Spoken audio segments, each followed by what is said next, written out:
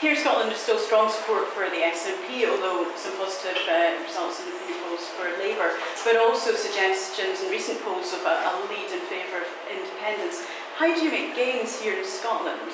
Well, in Scotland, we've been improving our position, and the case I want to make in Scotland is that we should have change in Scotland, but that should be change within the United Kingdom, a positive case for change, and that also an incoming Labour government would clearly have priorities which I think match where most people are in Scotland, which is dealing with the cost of living crisis, dealing with our economy and getting it growing, making sure we've got the right jobs in the right places, and that Scotland can thrive. So, um, you know, we're, we're doing well in Scotland. We continue to build our case, but it's a very positive case for change. I'm not arguing for the status quo in Scotland.